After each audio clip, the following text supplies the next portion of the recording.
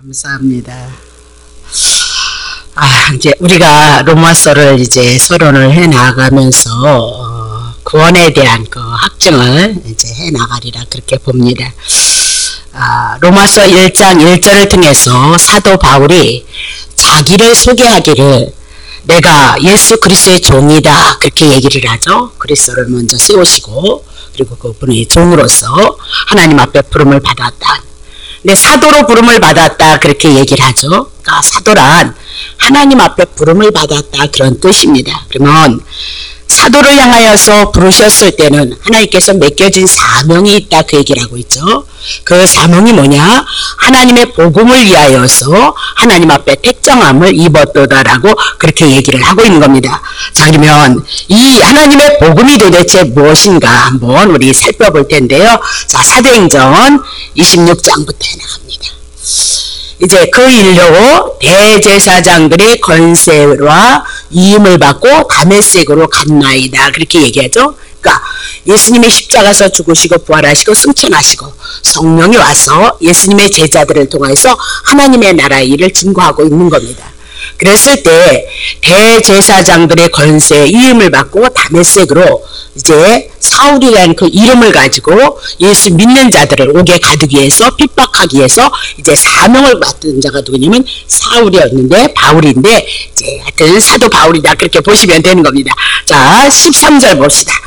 왕이여 때가 정원화되어서 길에서 보니 하늘로부터 해보다 더 밝은 빛이 이렇게 막 잡으러 가는데 하나님께서 그런 빛으로 나와 대하의 동행들을 둘러 비쳤더라. 우리가 다 땅에 엎드러짐에 내가 소리를 들었고 히브리 방언으로 이르되 사울아 사울아 내가 어찌하여 나를 핍박하냐? 가시채로 지금 뒷발질 하기가 내가 고생이도다라고 그렇게 얘기하면서 가시채로 지금 뒷발질을 한다 그렇게 하니까 얼마나 힘들었겠냐 그러니까 사울이 유대교에 있어서 율법을 붙잡고 있었을 때의 삶을 향해서 지금 말씀하고 있다. 그 얘기를 하고 있는 거죠. 다시 16절 15절 내가 대답하되 주여 누십니까? 주께서 가라사대 나는 내가 핍박하는 예수라. 일어나 내 발로 서라. 내가 내게 나타난 것은 곧 내가 나를 본 일과 장차 내가 내게 나타날 일에 대해서 너로 사환으로 삼고 증인으로 삼으려 함이니라. 이스라엘과 이방인들에게서 내가 너를 구원하여서 어, 너를 구원하여서 저희에게 보내요. 18절. 그 눈을 뜨게 하고 그러니까 아, 예수 믿지 않는 상태는 눈을 뜨지 않은 상태인 거죠. 뜨게 하여서 어둠에서 빛으로 사단의 권세에서 하나님께로 돌아가게 하고 제3과 나를 믿어서 거룩해 된 무리 가운데 기업을 하나님의 나라를 얻게 하려 하리로다. 그렇게 얘기를 하고 있는 거죠. 그러면 15절의 말씀을 한번 써보세요. 15절 예, 내가 대답하되 주여 누시니까 주께서 가라사대 나는 내가 핍박하는 예수라 이 말씀 속에는 예, 너네들이 메시아이신 예수 그리스도를 분명히 죽였다 그 얘기입니다. 근데 하나님께서 메시아 되시는 그 예수 그리스도를 살아나게 하셨도다 그렇게 얘기하고 예수님이 부활하셨던 것은 유대인들이 늘 소망하는 그 부활에 대한 것 예수님이 오셔서 부활하셨다 그 얘기를 해 나가면서 약속의 성취자로 예수 그리스도가 오셨는데 너네들은 알아버리지 못했고 그를 버렸고 십자가에도 못 박았다라고 그렇게 얘기를 하고 있는 거죠. 이제 다시 예수님께서 율법을 붙잡고 있었던 그 사울에게 나타나셔서 이제 복음을 향하여서 복음의 증인으로서 상한으로서 이제 사도 바울에게 사명을 주고 있다 그렇게 보시면 되는 거죠. 그러면 부활하신 주님이 그에게 나타나셨을 뿐만 아니고요. 그에게 사명을 맡겨서 자기에 대한 내용을 분명히 얘기를 해 나가고 있는 거죠. 그리고 진리를 전파하기 위해서 특별하게 너를 불렀는데 하나님께서 택정함 그를 택하셔서 하나님 부르신 거지 어느 날 사울이 열심히 힘이어서 그의 단 좋은 점을 향해서 부르신 것이 아니다라고 그렇게 얘기를 하고 있는 거죠.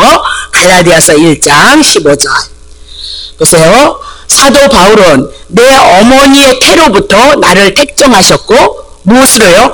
은혜로 나를 부르셨도다라고 그렇게 얘기를 하고 있는 거죠. 그럼 사도로 부르셨던 것은 하나님께서 택정하셨다라고 그렇게 얘기하고 복음 하나님의 나라를 위해서 따로 구별되어졌다 그렇게 얘기를 하고 있는 거죠.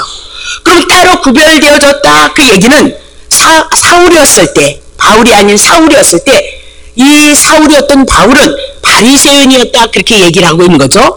그럼 바리새인이란 구별된 자다 따로 떨어진 자다 자신들을 스스로 분리를 시켰다라고 그렇게 얘기를 하고 있습니다. 그래서 율법을 지켜서 자기네를 특별하게 의로운 사람이었다 그것을 고백하는 자가 바리새인이었다 그렇게 얘기를 하고 있는 거죠. 그래서 바리새인들은 길을 갈 때 걸을 때 다른 쪽으로 이렇게 사람들이 가면 이런 쪽으로 이렇게 비켜나갔던 사람들이 바리새인이었다 그 얘기입니다. 혹시라도 자기 옷가에 이런 것들이 이방인에게 이렇게 스치면 옷이 휘었기 때문에 부정한 자 이방인 죄인과 이렇게 겹했기 때문에 자기가 부정한 자가 되어질까봐 큰 사람이 다니지 않는 그래서 유대인들이 다니는 거 구별된 길을 향해서 다녔던 자들이 누구냐면 바리새인 사울이었다라고 그렇게 얘기를 하고 있는 거죠. 자 그러면 갈라디아서 1장 13절 봅시다. 내가 이전에 유대계에 있을 때 행한 일을 너희가 들었지 않느냐? 그 율법으로서는 의로서는 흠이 없는 자였다. 목숨 바쳐서 율법을 지켰다. 그 얘기를 하고 있죠.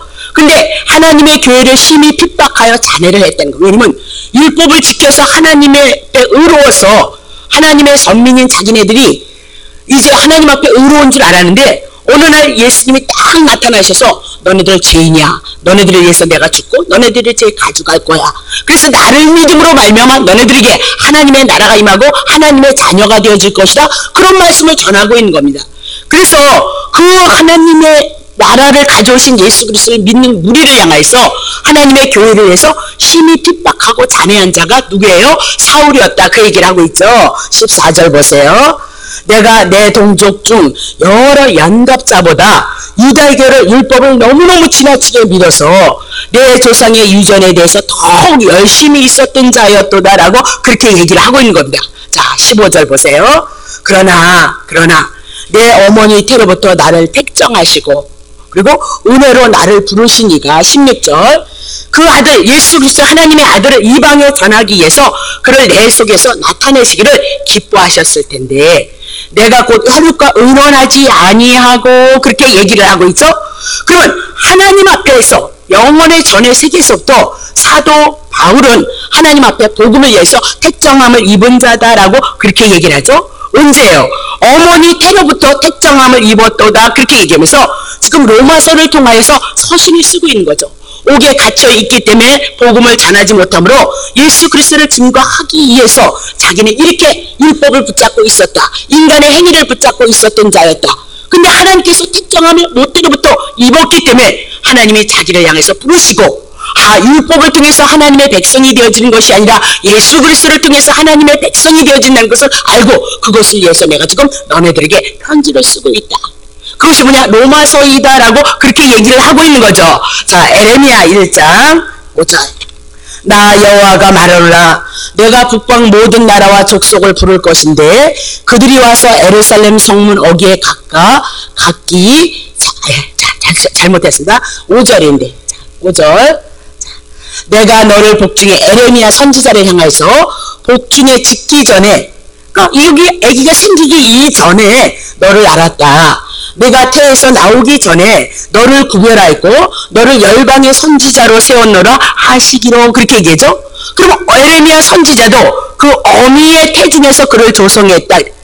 모태로부터 나오기 전에 그를 아셨고 그를 구별시키셔서 열방의 선지자로 하나님께서 부르셨도다라고 그렇게 얘기를 하고 있는 거죠. 그러면 사도 바울이 구별된 택정함이나 하나님의 행동에 대해서 얼마나 많이 얘기하는지 알 수 없다 그 얘기입니다. 자, 로마서 9장 13절 기록된 바 구약 성경에 내가 야곱과 야곱은 사랑하고 에서는 미워하였다 함과 같으니라 그렇게 얘기를 하죠. 똑같은 이삭을 통하여서 이제 리브가를 통하여서 뭐가 나오죠? 쌍태가 있었다는 얘기죠. 쌍둥이 애기가 있었다.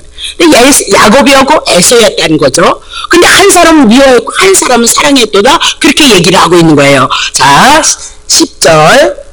이뿐 아니라 또한 리브가 우리 조상 이삭 한 사람으로 말미암아 잉태했는데 그 자식들이 아직도 나지도 않았다는 거예요. 태중에 있을 때 무슨 선한 일이나 악을 행하지 아니한 때에 택하심을 따라서 되는 하나님의 뜻이 행위로 하나님의 뜻은 우리가 구원을 받고 하나님의 은혜를 입는 것은 행위로 말미암지 않고 오직 부르신 이에게로 말미암아 서게 하려 하심이로다. 그렇게 얘기를 하죠. 리브가에게 이르되 큰 자가 어린 자를 생길 것이다. 에서가 형이었는데 누구의 앞으로 들어가죠? 에서를 사랑하는 것이 아니라 야곱을 하나님이 사랑할 것을 이미라도 말씀을 하셨죠. 뱃속에 있기 전에. 자 봅시다. 13절 기록된 바 내가 야곱은 야곱은 사랑하고 에서는 미워했다 하신가 같으니라 그렇게 얘기하죠. 그러니까 그들이 태어나기도 전에 어미의 태에 있을 때부터 하나님께 그렇게 구별되어졌도다라고 그렇게 얘기를 하고 있는 거죠. 모태에 있을 때 그들이 낳기 이전에 하나님은 복음을 위하여서 누구를 부르셔요? 지금 사도 바울을 불렀다. 그 사도 바울만 부른 것이 아니고 하나님 앞에 부름을 받은 여러분과 나는 그렇게 하나님 앞에 부름을 받았다. 그렇게 얘기를 하고 있는 거죠. 그러면 어째서 이렇게 못때로부터 영원전서부터 하나님께서 택하셨는 거 사도행전 15장 즉 예로부터 이것을 알게 하시는 주님의 말씀이다. 그러니까 하나님의 말씀 속에 예전부터 와서 말씀하신 것이 아니고 예로부터 이것을 알게 하시는 주님의 말씀이다. 그렇게 얘기하죠. 그러면 예라는 것은 무엇을 얘기냐? 창세기, 창세 전에 하나님께서 영원 전에 말씀하셨다는 거예요. 주님의 말씀을 하셨도다라고 그렇게 얘기고 이 모든 것을 하나님께 되어졌던 그 모든 것을 너네들에게 지금 알고 있도다 하면서 사도행전 사도 바울을 통해서 말씀하고 있는 거죠. 자 그러면 무엇을 알렸는 거? 자 어디로 들어가냐? 자 에베소서 1장 그 창세 전에 이 세상이 태어나기도 있기 전에 그리스도 안에서 누구를 택하셨어요? 사도 바울의 일행을 택했던 것처럼 오늘 여러분과 나를 택하셔서 우리로 사랑 안에서 그 안에서 거룩하고 흠이 없게 하시려고 우리를 택했다는 거예요. 근데 여러분 죄 많잖아요. 하나님의 말씀에 불순종한 것도 많이 있으시죠? 예배도 잘 안 드리셨죠? 그럼 여러분 어떻게 거룩하고 흠이 없는 자인데 영원전서부터 영원의 세계에서부터 여러분을 택하셔서 거룩하고 흠없게 하시려고 택하셨다는 거죠. 자 5절 보겠어요. 그 기쁘신 뜻대로 우리를 예정하셔서 택하셔서 누구를요? 거룩하고 흠이 없는 것은 예수 그리스도를 통하여서 하나님의 아들들이 되게 하려고 여러분과 나를 보다 예전 가운데 창세전 가운데 택하셨도다라고 그렇게 얘기를 하고 있는 거죠. 그것이 지금 사도행전을 통해서 사도 바울을 향해서 지금 말씀하고 있다 그렇게 얘기를 하고 있는 겁니다. 자 그러면 도대체 예로부터 우리들에게 하셨던 창세기서부터 영원전서부터 하셨던 그 말씀이 무엇인고 사도행전 15장 15절. 선지자들의 말씀이 이와 합하도다 기록된 바. 그 사도행전이니까 선지자 구약 성경을 통해서 말씀하셨던 그 말씀이 지금 사도행전을 통해서 다 이루어졌다. 그 얘기를 하고 있는 거죠? 기록된 바 합하도다. 말씀이 이루어졌다. 16절. 이후에 내가 돌아와서 다윗의 무너진 장막을 다시 지을 것이고 그 퇴락한 것을 다시 일으키리라. 그러면 영원전서부터 예로부터 하셨던 하나님의 말씀이 뭐냐면요. 다윗의 무너진 장막을 다시 세울 것이다. 그러면 다윗 솔로몬을 통해서 세웠던 에루살렘의 성전이 무너질 것이다. 그들의 제약을 인하여서 하나님의 성전이 유대인들이 무너질 것을 말씀하시고 또 퇴락한 것을 다시 일으킬 것이다. 그들이 하나님 앞에 범죄함으로 말미암아 바벨론의 포로가 되어진데 다시 그들을 일으키실 것이도다라고 그렇게 얘기를 하고 있는 거죠. 그러면 하나님께서 하나님의 택한 에르살렘 유대인들을 향하여서 또 바벨론의 포로가 되어진 그들을 향해서 다시 무너진 장막을 짓고 다시 일으키실 것이다. 그렇게 얘기하죠. 그러면 하나님의 택한 백성들이라도 그들은 어떻게 하나님 앞에 범죄해서 죄인이다 그 얘기입니다. 제 가운데 있는 그들을 향해서 하나님께서 다시 어떻게 한대요? 지으시고 다시 일으키실 것이도다 라고 그렇게 얘기를 하고 있는 거죠. 그래서 파괴된 것을 세워갈 것이다. 그러면 이스라엘 백성이 하나님 앞에 범죄하기 이전에 아담의 의의 조상이 했던 아담이 먼저 하나님 앞에 범죄함으로 무너졌고 그리고 퇴락되어졌다. 그래서 예수 그리스도가 오셔서 다시 이것을 회복시키실 것을 이스라엘 백성의 역사를 통해서 하나님이 약속하시고 그 말씀을 그대로 이루셨도다 그 얘기를 하고 있는 거죠. 자 그럼 다시 보겠습니다. 17절 이는 그 남은 사람들과 내 이름을 일컬음을 받는 모든 이방인들을 주로 찾게 하려 함이라면서 하나님의 선명했던 유대만 하나님이 일으키는 것이 아니고 누구도 일으켜요? 이방인들도 주를 찾게 할 것이다. 그러니까 이방인의 죄는 하나님을 알지 못했으니까 죄 가운데 머무를 수밖에 없으니까 그들도 다시 하나님이 구원하실 것이도다. 그 얘기입니다. 19절 보겠습니다. 그러므로 내 의대는 이방인 중에서 하나님께로 돌아온 자들 괴롭게 말고 그래서 하나님의 뜻은 뭐 이방인이 하나님 앞에 돌아오는 것이도다 주를 찾는 것이도다 그것을 행하기 위해서 사도로 오늘 사도 바울을 불렀다 그렇게 얘기를 하고 있는 거죠.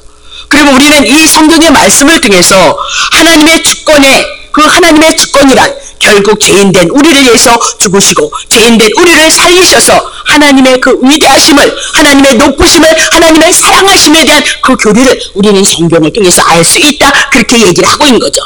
그러면 바울을 향한 하나님의 이 소명은 하나님이 계획하셨던 그 일을 향해서 사도로 부르는 것이다 라고 얘기하고 결코 우연한 사건이 아니다 그렇게 얘기하죠. 자 에베소서 다시 보겠습니다.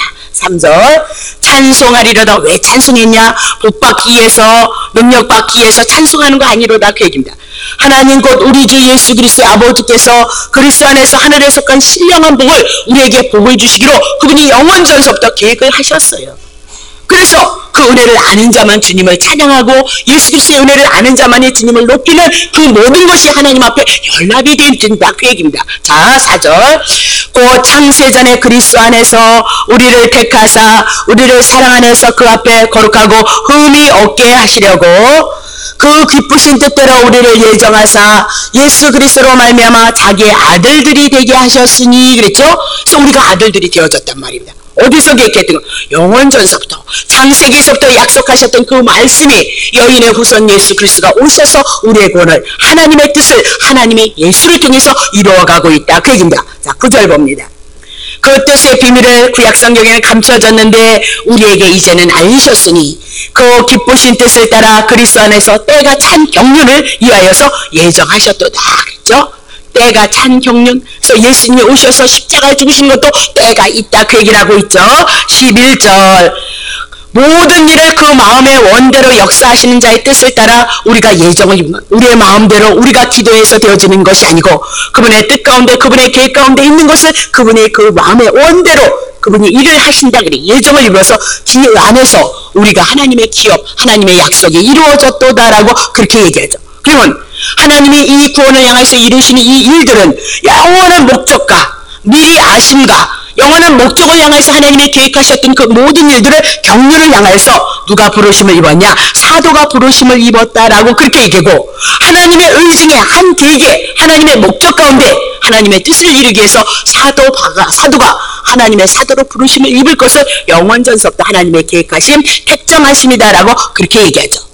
그러면 그가 다섯 사람으로 태어난 것도 우연이 아니고 헬라 문화와 히브리의 문화를 서로 어, 같이 호기심 있게 살펴본 것도 우연이 아니고 로마 제국의 심으로 태어난 것도 우연이 아니고 그 모든 것이 영원전에 세우신 하나님의 위대한 계획이었다라고 그렇게 말씀을 하고 있는 거죠.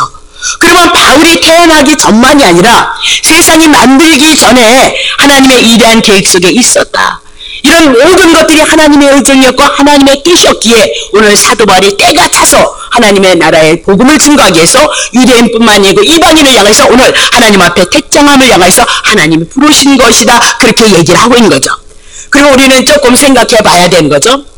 하나님께서 이렇게 이방인을 향하여서 전도자로 만드시기 위해서 하나님의 목적이 있어서 사도 바울을 부른다면 사도가 되어지기 이전에 사도 바울의 삶은 너무나도 웃기는 일이 많이 있었다 이 말입니다.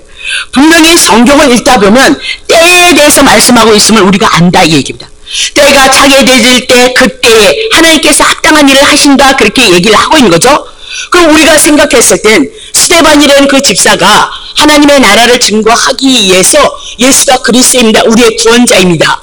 예수님이 그분이 왜 죽었는가? 우리의 죄 때문에 죽고 그분이 살아나심으로 우리를 영원한 생명으로 부활의 생명으로 우리들을 주셨습니다. 그것을 구약 성경을 통해서 사도행전을 스테반이 잘 증거를 하고 있더라. 그렇게 얘기를 하고 있는 거죠. 근데 돌에 맞아 죽는 겁니다.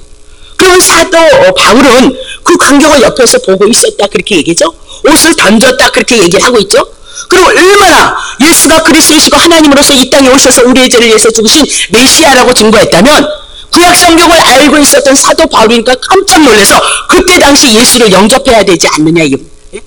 어, 그분이 우리들에게 언약하신 메시아구나 그렇게 받아들여야 되는 거 아니냐 그렇게 얘기를 하고 있는 거죠. 그런데도 그때 그런 일이 없었다 그 얘기입니다. 회심하지 않더라 그렇게 얘기를 하고 있죠.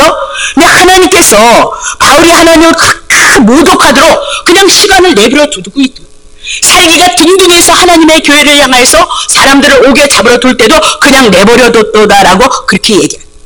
아까 갈라디아서 1장 15절 16절을 통해서 어머니 태로부터 택정하시고 그 아들 예수 그리스도를 이방에 전하기 위해서 택정을 하셨다면 사도 바울이 사울이 된 그 시대에 지금 도대체 무엇을 알고 있느냐 예수 그리스도를 증거하기 위해서 부름을 받은 태로부터 앞에 택정을 받았는데 지금 예수를 증거하는 사대 바울을 향해서 또 예수를 믿는 자를 향해서 죽이러 가고 의기가 살기가 등등했다라고 지금 하나님이 무엇을 하고 계시느냐? 지금 사도 바울이 지금 무엇을 하고 있느냐? 우리가 그렇게 생각할 수 있다 그 얘기입니다. 그렇게 에, 하나님께서 예언하시고 예언하셨던 일들이 이루어지지 않는다면 우리는 도대체 이 예언을 믿어야 되는가? 하나님의 말씀을 믿어야 되는가? 우리가 궁금증이 의문점이 생길 수 있다 그 얘기를 하고 거죠 근데 때가 되어지니까 하나님의 택정함을 입었고 하나님의 계획하셨던 그 일들이 그냥 포악하고 살기 등등하고 자기 길을 행하고 있는 사도 바울을 향해 사울을 향해서 하나님께서 영으로 그를 부르시고 그 얼마나 빛이 얼마나 그러면 눈을 뜨지도 못할 정도로 꼬꾸러졌고 이제 눈이 멀어서 앞을 보지 못해서 아나리아는 그 집사를 통해서 안수함으로 눈이 다시 떠졌다라고 그렇게 얘기를 하고 있는 거죠. 그러니까 그때라는 것은 하나님의 때가 있다 그렇게 얘기하고 너무나도 흥미로운 일들이다 그. 그러니까 오늘 우리가 믿음의 삶을 살아갈 때 때로는 정반대의 삶이 우리 속에서 분명히 있을 수 있다 그렇게 얘기하죠. 우리의 마음대로 되어지는 것도 아니고 우리의 계획대로 되어지는 것도 아니고 우리가 열심을 불어서 득심으로 정심으로 해서 하나님 앞에 잘 보여서 되어지는 일도 아니고 하나님의 계획 가운데 여러분과 나를 향해서 하나님의 은혜를 알게 하시고 깨닫게 하시고 하나님의 선한 뜻을 이룰 때가 분명히 있다는 것을 우리들에게 말씀하고 있다. 그 얘기를 하고 있는 거죠. 자 보겠습니다. 아, 로마서 1장 1절. 자 보세요. 아, 예수 그리스의 종 바울은 사도로 부르심을 받아서 하나님의 복음을 위하여서 택정함을 입었다. 지금 사도 사울이었을 때는 하나님의 나라를 핍박했고, 그죠? 예수 믿는 자를 잡아다가 옥에 가두는 일을 했지만 분명히 하나님의 뜻이 있었기 때문에 사도 바울은 이렇게 하나님의 뜻을 따라서 이렇게 와서 하나님의 복음을 전하고 있다. 그러면 사도 바울이 복음을 전하기 이전엔 그가 무엇을 붙잡고 있었냐? 율법을 붙잡았다. 인간이 무엇을 함으로 하나님 앞에 영광을 돌리고 인간이 무엇을 함으로 말미암아 하나님께서 복을 주시는 그 율법을 붙잡았다. 신명기 28장을 향해서 1장서부터 15장을 향해서 복을 명하시고 15절서부터 60절까지는 저주를 명하셨던 그 말씀 속에 사도 바울은 축복과 저주가 있는 하나님의 말씀 안에서 축복과 저주가 있다는 사실을 몰랐다는 아니요 사도 바울이었다. 그 무엇을 잡고 있었냐? 율법을 잡았다. 옛 언약을 붙잡았다 그 얘기죠. 갈라디아서 3장 11절. 또 하나님 앞에서 아무나 율법으로 말미암아 의롭게 되지 못할 것이 분명하니 이는 의인이 믿음으로 말미암아 살리라 하리. 하나님 앞에서 여러분이 100가지 하나님의 계명 이스라엘 백성인 100보다 더 많은 계명을 줬단 말입니다. 그러면 100가지의 계명을 줬다면 여러분이 100가지의 계명을 구약의 이스라엘 백성이 지킬 수 있었겠냐? 못 지켰다 그 얘기입니다. 그래서 율법으로서는 우리가 죄를 깨닫게 하시고 그 죄를 위해서 예수 그리스도를 보내신다는 하나님의 말씀을 증거하는 구약 성경과 신약 성경이 구약에서도 축복과 저주로 나뉘어졌다 그렇게 얘기를 하고 특별히 구약의 율법에 대해서 우리는 죄를 깨닫는 것이라 그렇게 얘기했지 어찌 율법을 지켜서 하나님 앞에 복을 받는다고 그렇게 얘기했느냐 사도 바울은 이렇게 사도로 부름을 받기 전에 어디에 속했어요? 유대교에 속한 자였고 율법에 속한 자였도다라고 그렇게 얘기를 하고 있는 겁니다. 자 그러면 아, 사도가 아, 바울이 사울이 바울이 되어지고 율법에서 복음으로 되어진 것은 그냥 되어진 것이 아니라는 거죠.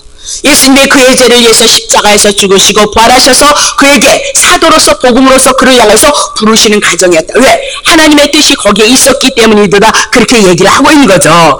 자 그러면 오늘 여러분과 나를 향하여서도 우리의 구원도 여기에 해당한다. 그 얘기를 하고 있는 거죠. 사도 바울에 따르면 우리의 구원도 하나님의 아들이 되어지는 것도 영원 전에서부터 하나님이 계획하셨던 일이었도다 그렇게 얘기를 하고 있는 거죠. 그러면 서신서를 읽다 보면 전능하시고 영원하신 하나님께서 창세전에 여러분을 아시고 여러분을 기억하셨다. 아니 그처럼 위대하시고 높으시고 영존하신 영원하신 그분이 무엇이 아쉬워서 우리를 향해서 이 은혜를 베푸시느냐 하나님의 은혜 되심을 하나님이 우리를 향해서 사랑하시는 그 사랑하심을 알고 여러분과 내가 그분 앞에 높여드린 그 경외의 삶을 이루기 위함이다. 그러니까 하나님이 하신 예수 그리스도를 통해서 보여주셨던 신구약의 모든 말씀이 여러분 영혼 속에서 깨어나지 아니하면 여러분이 하나님 앞에 영광 돌려드린다는 거지 하나님께서 받으시는 영광은 아니다. 예수 그리스도를 통하여서 여러분에게 주신 은혜가 은혜가 되어졌을 때만 여러분에게 드려진 그 신앙의 고백만 하나님은 받으신다라고 그렇게 얘기하고 그것이 신비도다 그렇게 얘기합니다. 자 로마서 8장 29절 하나님이 미리 아셨다는 거죠. 미리 아신 자들로. 그럼 언제 알았다 그랬어요? 창세 전에. 또한 그 아들의 형상을 예수 그리스도의 형상을 본받기 위해서 미리 여러분과 나를 뭐다 하나님의 택자로 부르셨고 어, 정하셨으니 이는 그로 많은 형제 중에서 마다들이 되게 하려 하시니라. 또 뭐야 마다들이 되어지시기 위해서 우리를 뭐다 정하신 거예요. 하나님의 아들을 만드시기 위해서 이미 영원전에 정하시고 또한 그들을 보되어 오늘 여러분과 나를 향해서 부르시고 부르신 그들을 또한 의롭다 하시고 의롭다 하신 그들을 또한 영화롭게 하셨느니라 그렇게 얘기하죠. 그러니까 미리 정하셨다 미리 아셨다 미리 정하셨다 그리고 미리 정하시고 미리 아신 그들을 향해서 예수가 오셔서 십자가에서 죽으시고 부활하셔서 우리를 의롭게 하시고 이제 예수님과 같은 형상 신령한 몸을 입을 수 있는 그 세계만 한 사건만 남았다. 그 얘기를 하고 있는 거죠. 만약에 하나님께서 미리 정하셨는데 부르지도 않고 의롭게 하지도 않았다면 그분은 하나님 아니다. 그 얘기를 하고 있는 거죠. 하나님 아니다. 그 얘기입니다. 어째서 우리도 언제든지 약속을 남발할 수 있잖아요 근데 하나님께서 약속하시고 약속하신 것을 이루시지 않았다면 그분은 하나님이 아니도다 그렇게 얘기를 하고 있는 거죠. 자 에베소서 1장 5절 한번 더 쳐보세요. 그 기쁘신 뜻대로 우리를 예정하신 거예요. 그분이 기뻐하시는 뜻대로 우리를 어디에 창세 전에 우리를 예정하셨도다 그렇게 얘기하죠. 9절 한번 쳐보세요. 그 뜻의 비밀을 우리에게 알리셨으니 곧 그 기쁘신 뜻을 따라 그리스도 안에서 때가 찬 경륜을 위해서 예정하신 거예요. 그분의 뜻을 향해서 여러분을 예정하신 거죠. 11절 모든 일을 그 마음의 원대로 역사하시는 자의 뜻을 따라 우리가 예정을 입어서 그 안에서 기업이 되어졌도다. 그러면서 예정에 대해서 그렇게 말씀하고 있다. 그렇게 얘기를 하고 있는 거죠. 그래서 장로교회가 붙잡고 있는 이 예정론은 이 예정론이 없으면 하나님의 계획하심을 알 수가 없잖아요. 그러면 신약에서 이루어졌던 모든 말씀은 구약에서 이뤘던 그 약속을 다 이루셨거든요. 그럼 예정론이 없다면 하나님이 아무렇게나 예수님이 아무렇게나 구약 성경에 없는 대로 막 와서 사셨다면 우리가 그분을 어떻게 하나님이라고 믿을 수 있으며 우리의 구원을 어떻게 확증할 수 있겠느냐 그렇게 얘기를 하고 있는 거죠.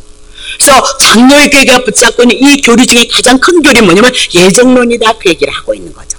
그러니까 이 예정론이 상당히 이제 깊은데 하여튼 나중에 기회가 되어지면 다뤄드리는지는 모르겠지만 우리는 성경을 통해서도 충분히 알 수 있다 그 얘기를 하고 있는 거죠. 그러면 로마서 1장 2절 보겠습니다. 이 복음은 하나님의 선지자들로 말미암아 그의 아들에 관하여 성경에 뭐요 미리 약속하신 것이도다 그렇게 얘기를 하고 있죠. 그러면 부르시고 부르 예정 미리 정하시고 미리 또 정하시고 미리 하시고 미리 정하시고 미리 오늘 정, 아시고 정하시고 부르셨잖아요. 그래서 우리 의롭게 하셨잖아요. 이런 모든 것들은 누가 하시는 거예요? 하나님의 주권이다라고 그렇게 얘기를 하고 있는 거죠. 그러니까 오늘 우리를 부르신 거죠. 그래서 사도 바울이 그렇게 얘기를 합니다. 나 같은 것을 하나님이 부르셨다니. 하나님의 교회 십자가에서 죽으셨던 그 예수 그리스도를 핍박하고 믿는 자들을 옥에 가두기 그런 자기 같은 나 같은 것을 향해서 하나님이 부르신 것도 구원을 받은 것도 넘치는데 그 영광이 무엇인지를 알게 하기 위해서 생명을 살리는 그 일을 향해서 사도로 부르셨도다 그렇게 얘기를 해나가고 있는 거죠. 오늘 우리는 성경 안에서 이 말씀이 조명이 돼요. 하나님의 율법 지키지 못하잖아요. 하나님의 뜻대로 살지 못했잖아요. 예수 그리스도께서 여러분의 죄를 담당하시고 여러분을 위해서 살아나셔서 여러분이 하나님의 자녀가 되어 그것이 뭐냐 복음이 도다라고 그렇게 얘기를 하고 있는 겁니다. 자 그렇다면 오늘 구약 성경 성경에 미리 약속하신 것보다 성경에는 구약과 신약이 있다 그렇게 얘기하죠. 그러면 구약, 성경에는 구약과 신약이 있다 성경에는 우리들에게 옛 언약이 있고 새 언약이 있다 그렇게 얘기하죠. 옛 언약은 율법이요. 새 언약은 복음이다 그렇게 얘기죠. 옛 언약은 계명이요. 새 언약은 하나님의 아들 예수 그리스도로 모든 것을 이루었도다. 그 모든 성경이 그렇게 우리들에게 말씀하고 있다. 그렇게 얘기를 하고 있는 거죠. 자 그러면 그러면 구약에서는 율법을 통해서 옛 언약은 죄를 깨닫게 하시기 위해서 율법을 주신 것이고 신약에 와서는 예수 그리스도가 그 죄를 다 우리의 죄를 위해서 짊어지시고 율법을 완성시켰다는 것을 보여주시기 위해서 예수 그리스도를 우리에게 계시해 나갔다 그렇게 얘기를 하고 있는 거죠. 자 그러면 그러면 하나님의 형상을 향하여서 지음을 받았던 여러분과 나는 어떤 상태였느냐? 자 마태복음 1장 21절 21절 아들을 낳을 것인데 그 이름을 예수라 하라 이는 그가 자기의 백성을 저희의 죄에서 구원할 자입니다. 하면서 아담 이후로 모두 죄 가운데 있기 때문에 예수 그리스도 보내셔서 우리를 죄에서 구원하실 것이다. 그렇게 얘기를 하고 있어요. 그 구원을 통해서 아들을 통해서 하나님의 아들의 형상이 되었지 무엇인가 빌보서 3장 20절 오직 우리의 심권은 하늘에 있는지라 거기서 구원하는 자 곧 주 예수 그리스도를 기다리노니 구원을 받아서 이제 하나님의 나라에 이를 것을 하나님의 나라가 우리의 소속이다. 그렇게 얘기를 하고 있죠. 다시 봅니다. 고린도전서 15장 49절. 우리가 흙에 속한 자의 형상을 입었던 것처럼 아담이 흙에 속했죠. 그렇게 똑같이 흙으로 또한 하늘에 속한 자의 형상, 하늘에서 오신 예수 그리스도의 형상을 우리가 입을 것을 말씀하고 있다. 그것이 뭐냐? 복음이도다. 그렇게 얘기를 하고 있는 겁니다. 그러면 사도 바울이 택정함을 입어서 사도로서의 사명이 도대체 무엇이었느냐? 사도행전 26장 18절. 자, 그 눈을 뜨게 하여서 그 눈 감고 있었다는 거죠. 그러면 소경이었다. 누구에 대해서 소경이냐? 하나님에 대해서 소경이다 그 얘기죠. 그러면 사도 바울이 유대인들이 왜 소경이냐? 하나님의 말씀이 있고 하나님의 언약이 있고 하나님의 영광이 있고 그들에게 하나님의 말씀이 구약 성경이 있었잖아요. 근데 왜 소경이냐? 율법 그늘 아래 있는 자들은 소경이다 그 얘기입니다. 예? 어둠에서 빛으로 어둠이 뭐야? 율법 가운데 있다 이 얘기입니다. 율법을 붙잡고 인간의 행위를 가지고 하나님 앞에 선을 이루면 하나님의 은혜를 입는 줄 알았다 그 얘기를 하고 있는 거죠. 그래서 사단의 권세 마찬가지의 율법 가운데 그래서 하나님께로 돌아가게 하고 제3 예수 그리스도를 믿어서 거룩하게 된 무리 가운데 기업을 얻게 하려 하였더이다. 그렇게 얘기하면서 이것이 뭐예요? 사도 바울이 주신 사명이다. 율법은 죄를 깨닫게 하는 거니까 구약의 율법을 붙잡고 있는 것이면 눈을 어떻게 눈이 어두워진 상태다. 소경인 상태다. 그 상태가 사단의 권세 가운데 있는 자다. 그렇게 얘기죠.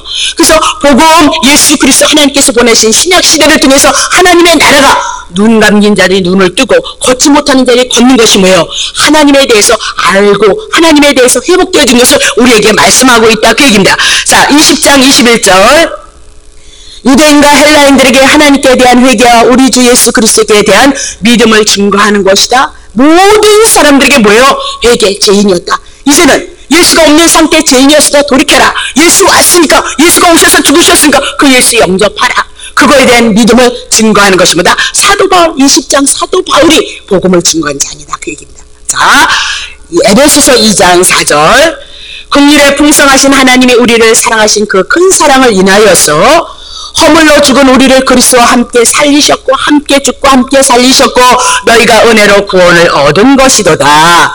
함께 일으키셔서 그리스도 예수 안에서 함께 하늘에 앉혀 버렸어요. 여러분이 어디 있는 존재예요? 하늘에 앉힘받아진 존재예요. 지금도 구원을 받았니 안 받았니 그렇게 무서워서 두려워서 떨어서 뭐 재림이 오시면 예수님이 오시면 깨어 있어야 돼서 날마다 성전에 가서 기도해야 되느냐 그게 하나님의 말씀을 모르니까 그렇게 당한다 그 얘기입니다. 다시 보겠습니다. 8, 7절 이는 그리스도 예수 안에서 우리에게 자비하심을 불쌍히 여겨서 그 은혜의 크기 풍성함을 오는 여러 세대 창세기서부터 주님이 오시는 그 시대를 향하여서 나타내기 이함이도다 그렇게 뭐 나타낸대요? 예수 그리스도께서 이미 2000년 전에 주셨던 그 은혜 죽으시고 살아나셔서 우리에게 부활의 생명을 주셔서 하나님의 나라가 임했던 그 은혜를 지금도 그 하나님의 말씀을 가지고 역사를 이뤄가고 있다. 그 얘기죠. 8절 너희가 그 은혜를 인하여 믿음으로 말미암아 구원을 얻으니 은혜 고에 거저 주시는 선물 예수 그리스도 그죠? 구원 믿음 다 예수잖아요.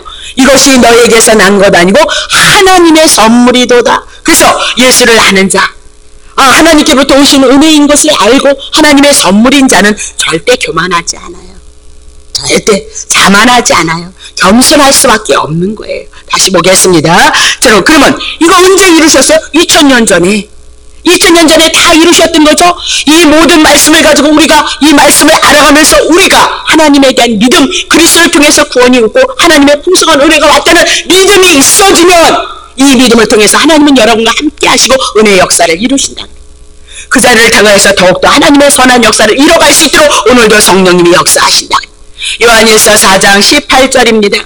사랑 안에는 하나님의 사랑이 우리 안에 왔으면 두려움이 없는데 온전한 사랑이 우리들에게 오면 이 땅에 온전한 사랑이 어디 있어요? 남편이 우리를 그렇게 끔찍이 사랑해줘요? 아이 그런 거 없어요. 온전한 사랑 하나님의 사랑 예수 그리스도가 우리 안에 오면 두려움을 내어 쫓는다. 두려움이 뭐 때문에요? 죄값은 사망이다 죽음이다 형벌이다 그렇기 때문에 우리가 두려움이 온다 그 얘기를 하고 있는 거죠. 근데 온전한 사랑 하나님의 사랑 예수 그리스도를 통한 사랑이 오면 두려움을 내어 쫓나니 두려우면 뭐예요? 형벌이 있기 때문에 두려워하는 거다. 두려워하는 자는 사랑 안에서 온전히 이루지 못했기 때문에 두려워하고 그럼 왜 두려워하느냐? 여러분과 내가 왜 두려워해야 되느냐? 고린도전서 15장 55절 사망아 사망이 우리를 붙잡고 있어요. 너희의 이기는 것이 어디냐? 사망아 너희 쏘는 것이 어디냐? 사망이 쏘는 것은 죄 때문이다. 사망이 우리를 왜 붙잡고 있느냐? 죽음이 왜 죄 때문이다. 그 죄는 무엇 때문에 오느냐? 하나님이 지키라는 하나님의 율법을 지키지 못했기 때문이다. 그러니까 죄의 권능이 뭐예요? 율법이도다. 그 율법이 언제 왔어요? 선악과 따면 정령 죽으리라 선악과. 그것이 율법인 거예요. 그래서 죽어야 된다 그 얘기를 하고 있죠. 그럼 우리가 왜 두려워하느냐?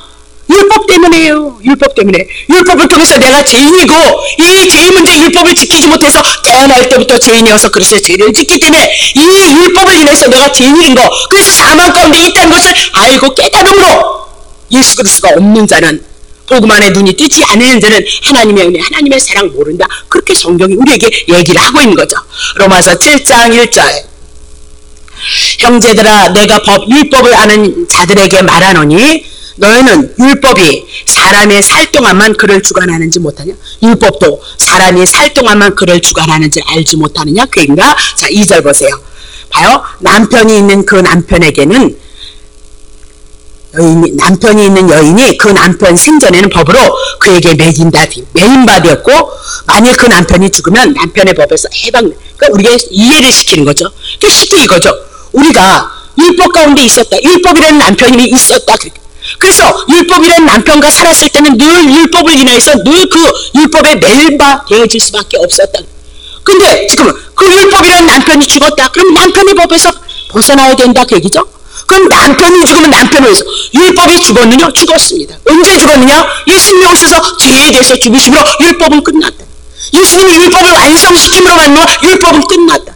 율법을 완성시킨 예수 그리스도를 믿음으로 내 안에 온전히 이루신 예수가 들어왔으므로 율법을 내가 이룬 자가 되어졌도다. 그것이 예수 믿는 거다. 그. 아유 여러분 착한 거 여러분 착한 것만 있어요? 승질내는 건 얼마나 많이 있고 죄 짓는 건 얼마나 많이 있어요. 네? 근데도 여러분이 선악과 율법을 가지고 하나님을 섬기니 안 섬기니 복을 받니 안 받니 그렇게 하실 거예요? 그럴 거 아니에요.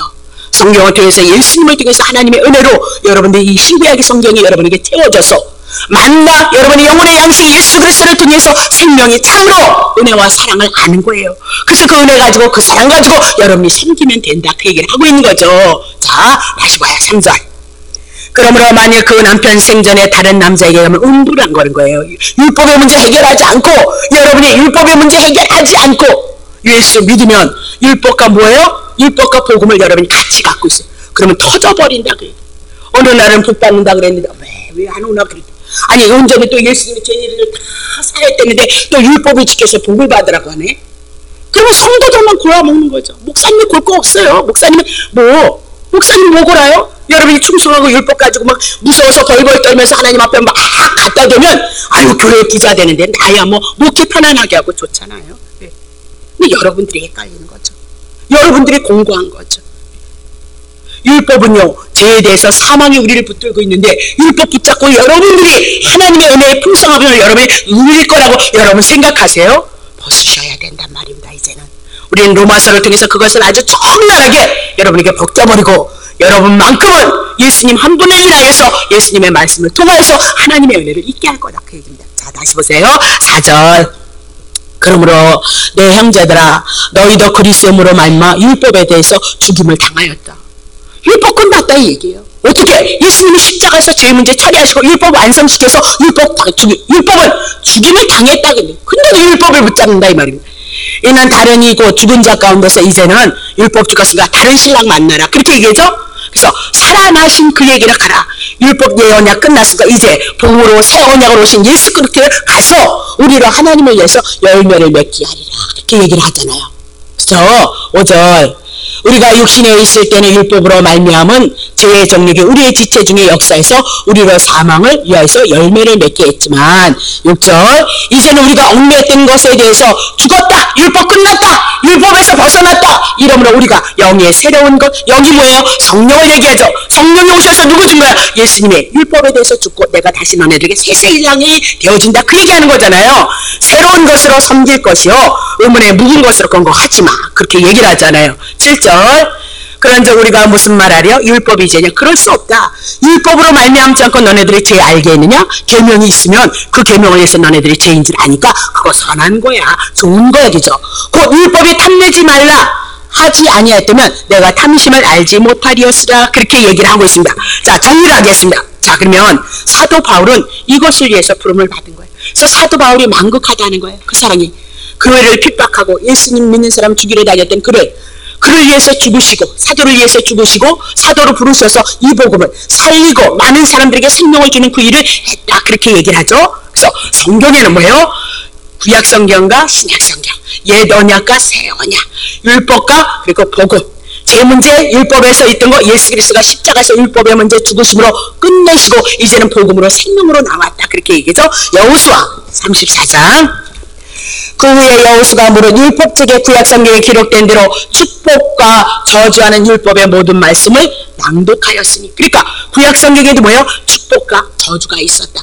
그러니까 출애기 그에 보면 20장에 십계명 받아오죠? 십계명 지킬 수 있어요? 못 지키잖아요. 네? 못 지키잖아요. 그래서 첫 번째 받은 그 옛 계명이 뭐예요? 깨지잖아요. 그리고 두 번째 받은 그 십계명이 세워지는 거다. 첫 번째 언약 율법은 무너지는 거예요. 두 번째로 오신 예수 그리스도 복음으로 우리가 살 것을 말씀하고 있다. 그러니까 율법에 기록한 대로 축복과 저주하는 율법의 모든 말씀을 낭독하였도다. 자, 5절. 모세에 명한 것은 여호수아가 이스라엘 온 회중과 여인과 아이에게 그들 등에 동거하는 예? 예? 예? 잘못 찾아왔어요. 제가 아까 확인했는데 그래서 이스라엘 백성들에게 하나님 모세를 읽던 그 모든 말씀에 뭐가 있냐면요. 에발산이라는 것이 있고 그리심산이 있어요. 그럼 에발산은 뭐예요? 저주 율법을 말씀하고 그리심산은 무엇을 얘기하죠? 복음 예수 그리스도를 증거하고 있어요. 구약에도 그렇게 신약에 와 있다면 구약에도 있어야죠. 구약에 있다면 신약에 있는 거죠. 이 말씀이 우리 속에서 예언이 되어지고 이루어지고 성취되어졌으므로 사도 바울은 이제 성경에 기록되어졌던 율법 신랑 죽어버렸어 그렇게 얘기하고 이제는 새 신랑으로 가자 그 새 신랑 예수 그리스도가 너네들을 위해서 죽으시고 부활하셔서 오늘 우리와 함께하고 있으므로 이 말씀에 생명이 되어져서 여러분 수여진 생애 동안 하나님의 은혜로 풍요로우시기를 예수 여러분 축복합니다